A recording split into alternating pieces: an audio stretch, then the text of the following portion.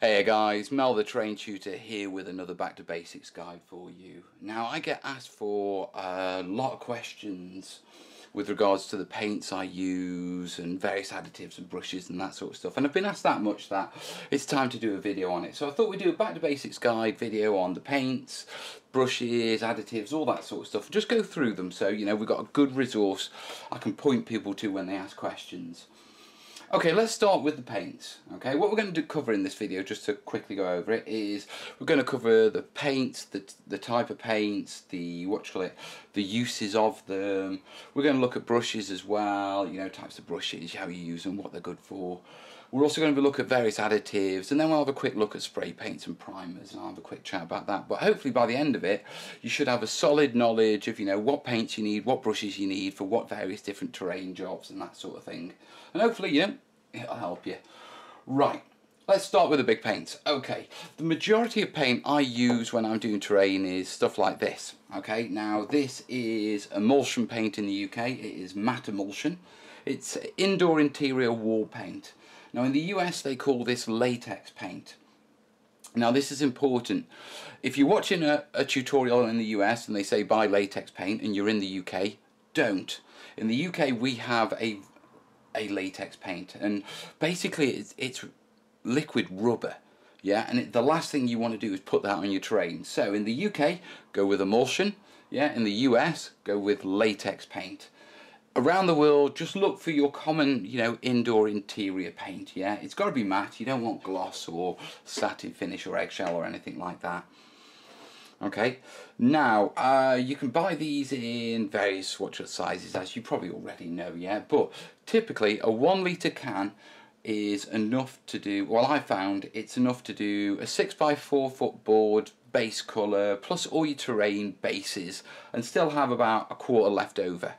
Yeah so if you're doing a full-on board project with buildings you want to be looking at this side size. If you're only doing what you call it smaller pieces okay? Then you want to be looking at things like these. Yeah? Now these are exactly the same paints but they are tester pots. You know you can buy them for a quid.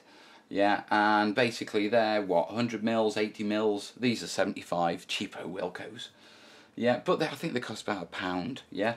Now if you're doing a terrain set say a set of buildings or something like that you'll probably find you'll need two two tubs of your base colour and then one of each of your, your other main colours etc yeah but you know it's volume. They're still the same sort of paint it's just the volume you need. Only go near this if you do full on tables. Now so those are our basic emulsions. Yeah. Moving on we move over to things like the acrylics okay? And obviously you've got the professional stuff from Galeria. Yeah now this is artist acrylic. Yeah it's expensive. Yeah but it is damn good. Yeah now these are Winsor Newtons uh, these are Reeves. Okay, and then moving on, yeah, you get into things like the Crawford and Blacks. Okay, now these I got from uh, a cheapo bargain shop. Yeah, and there's a lot of acrylic paint ranges out there. Okay, now you don't have to go with the most expensive. Yeah, if you can find the right colour yeah, and now there's no guarantee that they'll have the right colour, but if you can find the right colour, then it's an acrylic paint. You know, your burnt umbers, your ochres, your sap greens, you know, all those sort of colours in a cheaper range, then go for them, guys. I mean, right now in the UK, the cheapest uh, burnt umber you can buy per volume is Wilko's Craft Paint. Yeah, and this works out about 60p per 100 millilitres or something around that lines. But it worked out the cheapest. I, I, bought a load of them, but that's the only colour that they do that's of any real use beyond sort of like the primary colours like red, blue and that sort of stuff. Yeah, so you've got acrylic paints, yeah? Now, obviously the acrylics are slightly more expensive than the emulsions, yeah, but they give a better finish. Yeah, they're, they're nicer to work with, yeah? When I say a better finish, what's the, what's the best way of describing it? There's not that much difference in it, you know. Uh, you can be a bit arty-farty and say I only use acrylics on my terrain. It depends on volume, really. You know, if you're only doing a few small pieces, acrylics are fine. You know, if you're doing large pieces, lots of polystyrene, that sort of stuff, lots of buildings, then go with the emulsions. Now, we've got those acrylics there, yeah, so let's... Now, I should point out, yeah, that I haven't gone out and bought a set of things for this video yet. Basically, what I've done is I've just grabbed everything I've got in my watch cupboard. So if I seem to have quite an eclectic range of things, it's just, it's the stuff I've picked up as we've gone along. And basically I've just come along and dumped it on my desk so you can all see it. So moving on with the acrylics, yeah, what you've got is things like these. Now these are acrylic pastes. Okay, I've got a wide range of colours. Uh, I would never use these for bog standard painting terrain. Yeah, there's two real purposes for these. Okay, one is when you're using things like uh, thinners, etc., making washes. Yeah, because it's a finer range, because it's an acrylic paste. There's there's less of the acrylic in it and more of the pigment, so they make really good washes and that sort of stuff. The other situation is, what if you want to do like flame effects and that sort of thing and you need a, a, paint paste. Typically people use oil, oil for those, but you can use acrylic pastes as those. Right, caveats right now, I don't tend to use oil paints. You know, I have done in the past. I don't like them to be perfectly honest. I can get the same effects with other products, so you know, that's why I'm not talking about oil paints in this video. But these things, yeah, great for washes, great for that sort of stuff. Okay, absolutely brilliant in fact. So those are the basic paints. And what we're basically talking about you know actually emulsion is a type of an acrylic paint. Yeah it's you know suspended in a similar medium yeah. But basically these are the sort of paints that we use for terrain building. The main things you need to consider is volume of paint yeah. Uh, simply when it comes down to how many tubs do I have to buy for this project. Like I said yeah full bore full on table, you're going to need a can, you know, a proper litre. Yeah, beyond that, you start looking at the tubs, which really brings the cost down. Now, there are other paints that we use. Uh, obviously, you know, we've got the hobby paints. Now, straight off, I do not recommend these as base paints for terrain, with except one caveat. You know when your paints dry out, you know, and certain brands are far more known for this than others when your paints dry out and they become unusable, yeah, you can get water in there, mash them up a bit and use them for terrain.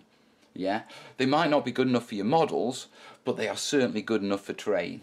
Now it may seem that, oh, oh, I've only got one dried pot. If you're doing a project between a few of you or a club, you know, it's quite easy to have a bit of a, you know, a dried up paint cull. You know, if, you, if you're going to throw it out, put, bring all the paints together. And actually you can find you've got a reasonable amount of paint. You can do quite a bit with it. Okay, so don't discount your watch your model paints when they get dried up. All it means is once they get dried up, they're ready for terrain projects.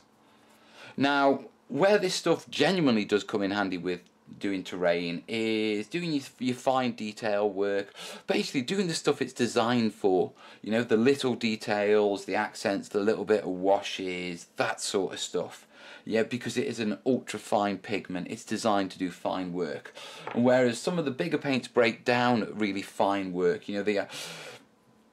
Uh, the pigments either they go a bit a bit cloudy sometimes you know when you're trying to get thin coats on and mixing them with water these are designed to be mixed with water you know these emulsions really aren't designed to be thinned down okay so if you're doing fine work that sort of stuff yeah you want to be looking at your you know, you can use your hobby paints for that. But generally, you know, if you're doing terrain, don't use these as base paints. It's just not cost effective. It'll cost you an arm and a leg.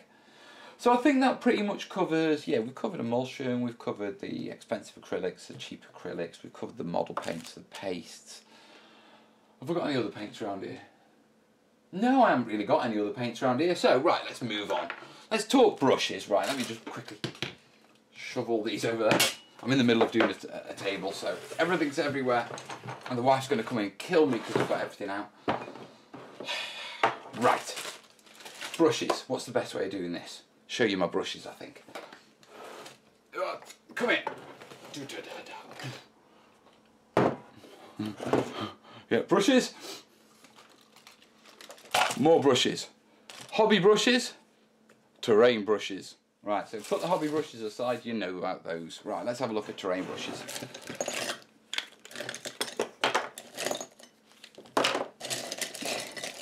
It's all fun, isn't it? Right, let's get all these out and we'll go through them. Oh, okay, I've actually got a new pack of these to show you as well. Aren't I professional?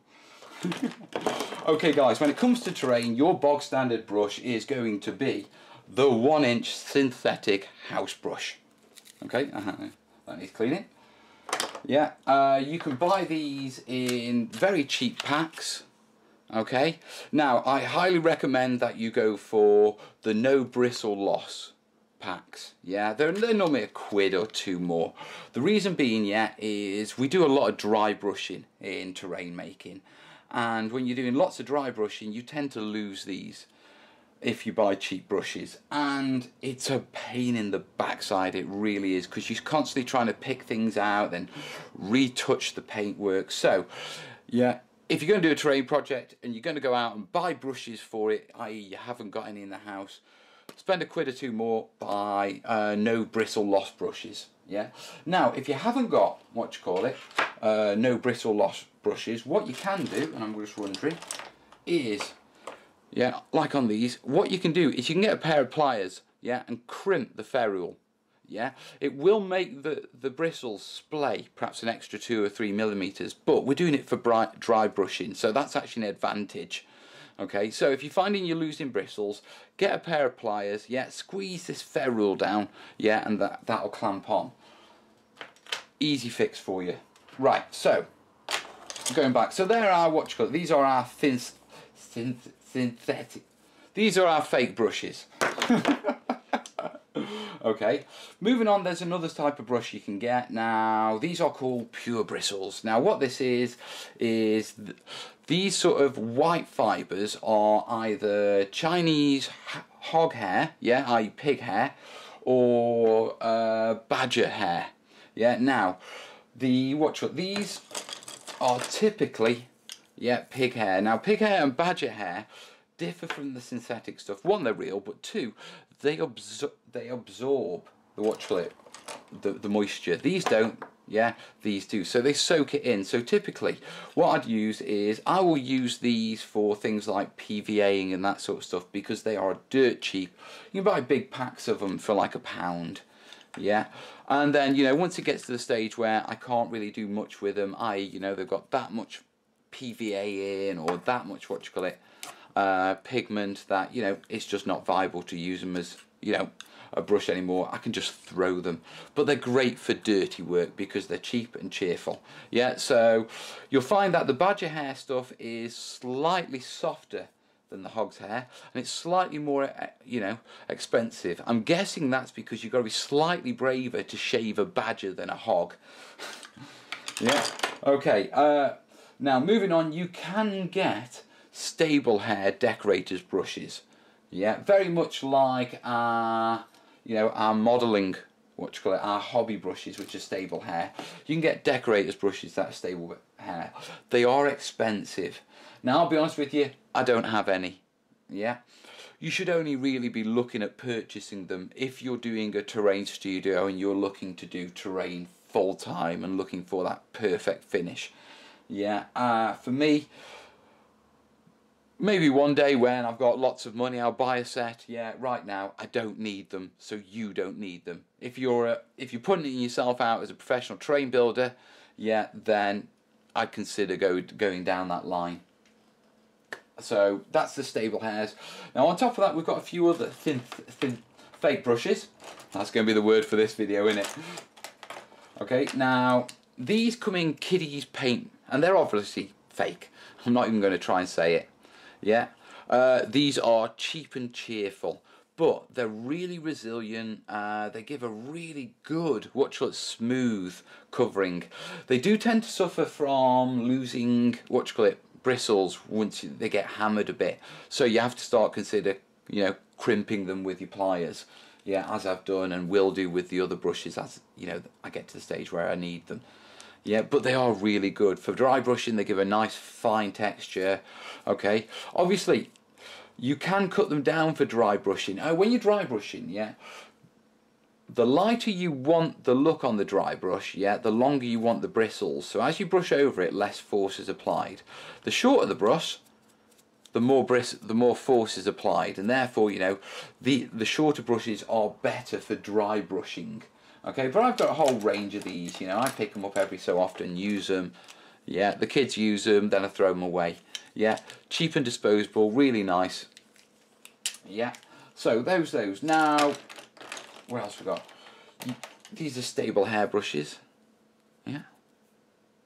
Okay, and you can pick up artist ones of these, yeah, packs.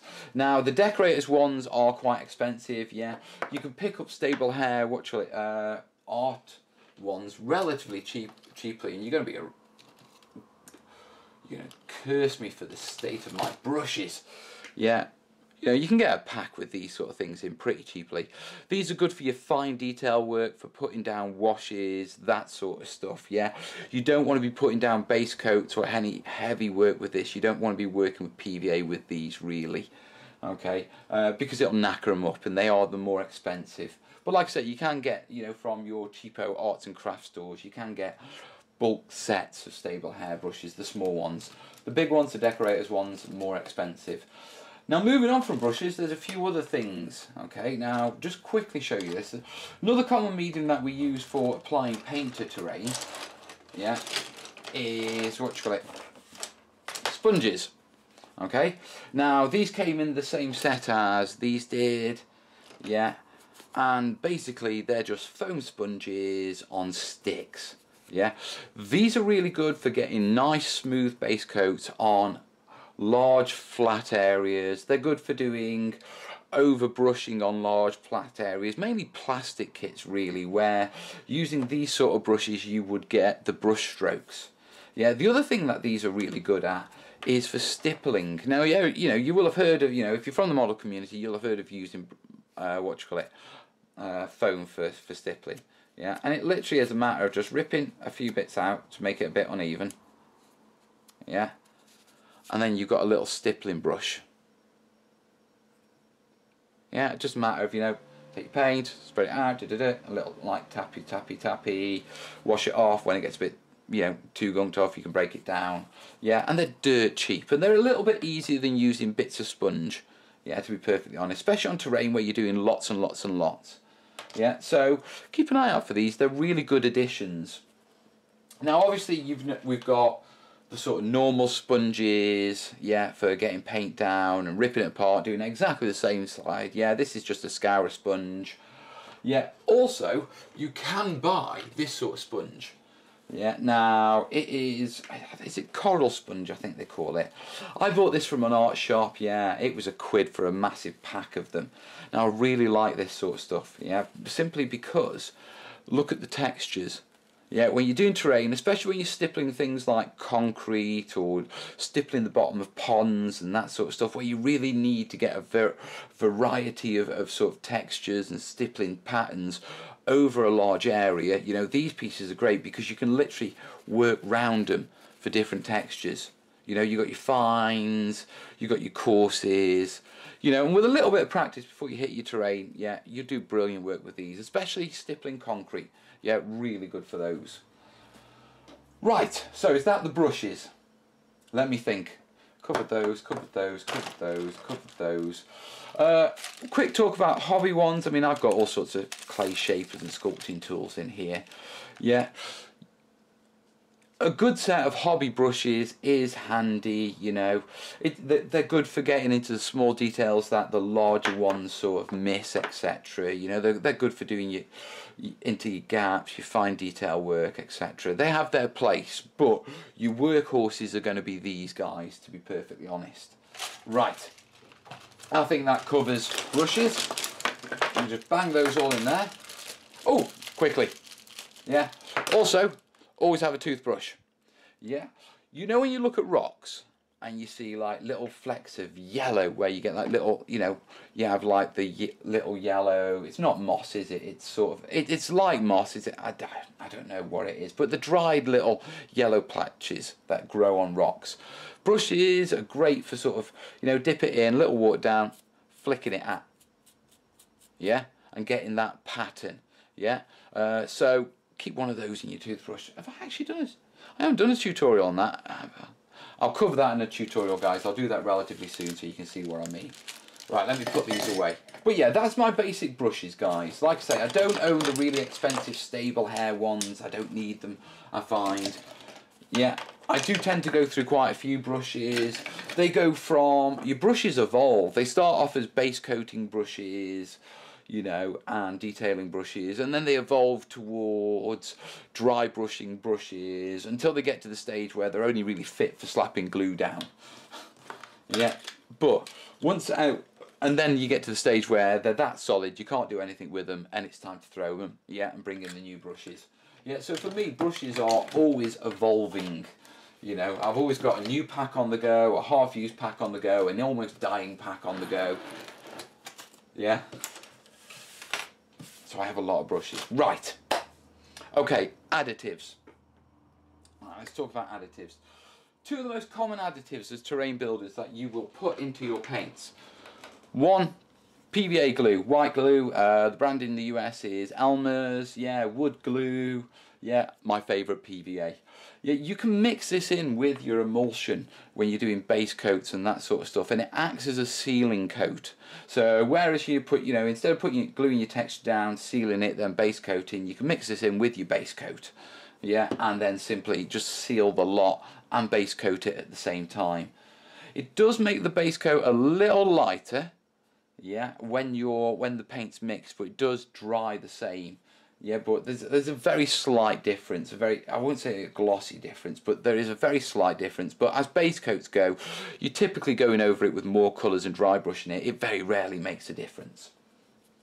Okay, moving on from that, we have what you call it, uh, dish soap. Yeah, dish detergent, washing up liquid in the UK.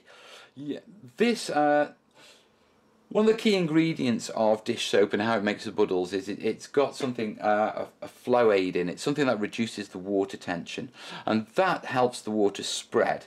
Now, when you add a couple of drops into the, of this into your paint tubs as you mix it in, yeah, it will go a little bubbly. Don't worry, the bubbles will go. Yeah, they settle. But when you mix it in, you add that flow aid to the paint.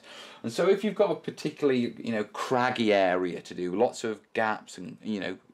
Uh, such as try to paint cork bark or something like that, or painting rocks with lots and lots of little gaps in it and that sort of stuff. Uh, lots uh, clumps of rocks together.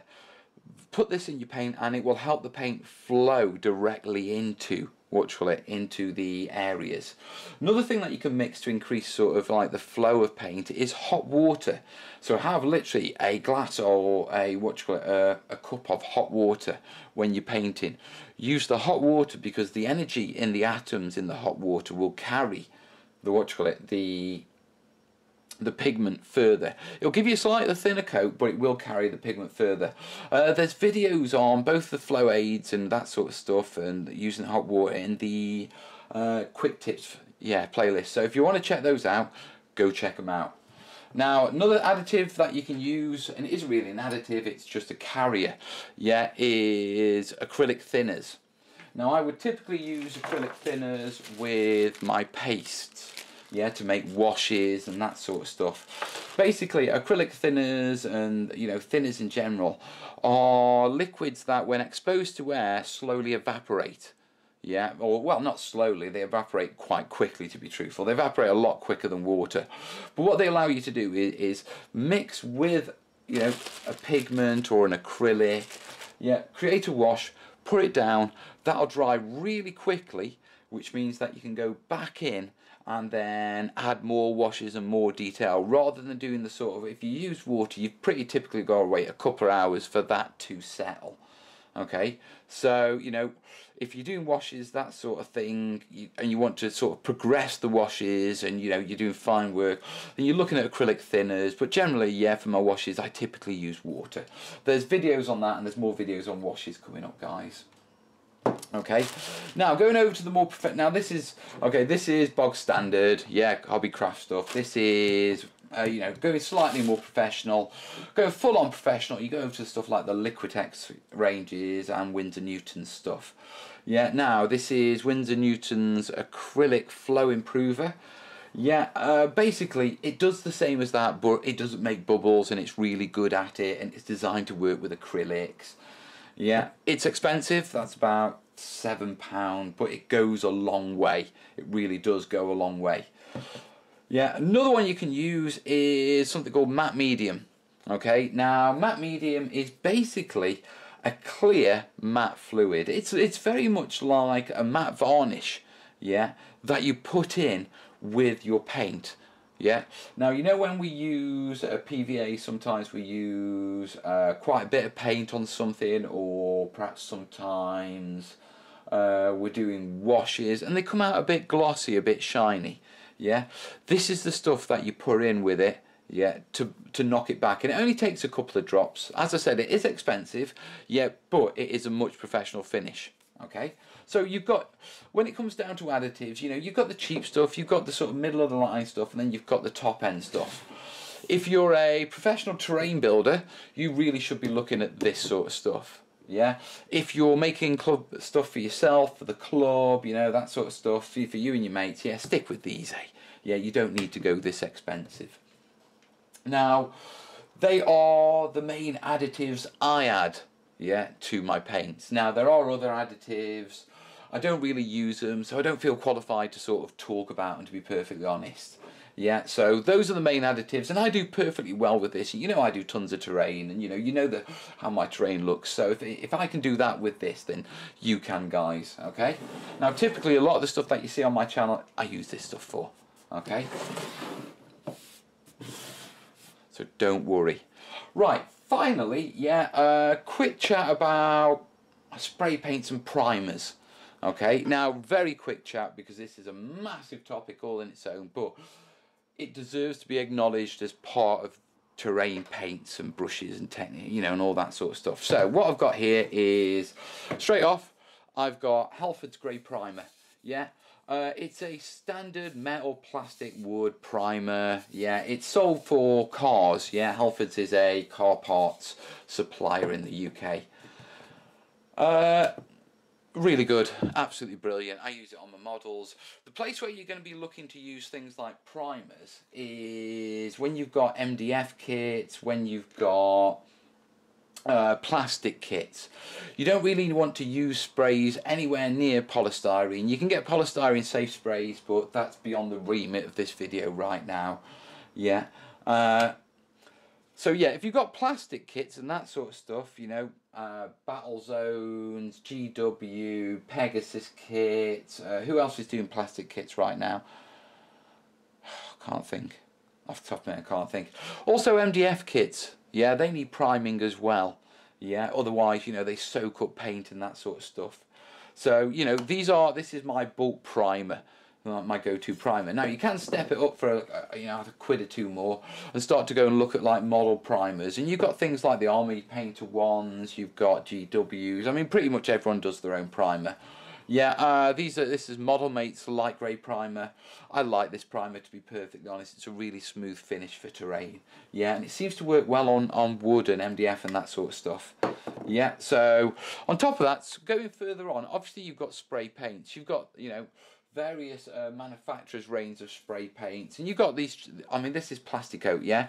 This is a cheap one. I think the cans cost about one or two quid. But it's good going over a primer. You know it is a spray paint. So if you're doing large areas of plastic kit sometimes you know plastic and, MD, and watch that MDF kits really struggle with brush strokes brush strokes showing through yeah, so quite often, you know, for your base coating, you'll be looking at using spray paints. Now, this is, of course, if you're not airbrushing. Now, if you're airbrushing, that's a whole different topic, yeah, and, you know, most people don't have an airbrush, yeah. Don't go out and buy an airbrush for terrain, you know, if you're just doing a couple of sets, you know, buy it for your models unless you're a professional terrain builder and then you know you sort of need one. But the vast majority of people are brush and sponge people yeah? So when you need to get that sort of airbrush effect that spray effect yeah it's often cheaper to go for the, like the spray paints. So guys uh, we have covered the types of paints I use, how, how they use, where we use them, all that sort of stuff. We've looked at the brushes, what type of brushes, what they're good for, yeah, we've looked at additives, we've looked at sprays and that sort of stuff. So I think I've pretty much covered most of the major questions I get asked, which, you know, I'm quite pretty happy with, to be perfectly honest. Uh, moving forward, well, I mean, I can't. Moving forward, yeah, at some point in the future, I'll cover oil paints and that sort of stuff. But like I say, I don't really use them, so I don't feel qualified. With regards to the airbrushing stuff, I'm still getting used to it. So once again, I don't feel qualified to, to talk about how to use airbrushing yeah, to make wonderful effects on terrain because I'm still learning, you know. A lot of the times I'm doing my airbrushing on experimental pieces and test pieces, yeah. I'm still sticking to the stuff I know for my terrain because I know how to get good effects with them and I know I can rely on them. Last thing I want to do is like, you know, make a mistake whilst I'm learning to airbrush on a, a decent piece. And I'd also suggest the same for you guys. Oh, right, let me take a deep breath. How long have I been going for? Oh, about 30 minutes. That's a good video. Right, guys, uh, as always, first off, yeah, loads of good terrain guys and loads of professional model builders and that sort of stuff follow my channel. So, guys, if you've got anything to add to this video, yeah, throw it in the comments. If you've got any questions, throw them in the comments. Remember, guys, I, I always answer my comments. Well, almost always. It's getting a bit iffy with a few topics, but on this one, yeah, you'll get an answer, guys. As long as you ain't asking stupid stuff like what pizza to have. Yeah, someone did. Never mind.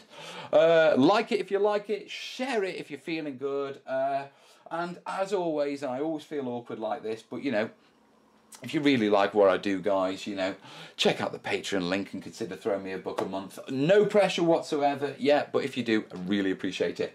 Anyway, I've got to crack on with painting because that's what I was supposed to be doing instead of talking on the video. So, have a good day, guys. All the best, yeah? ta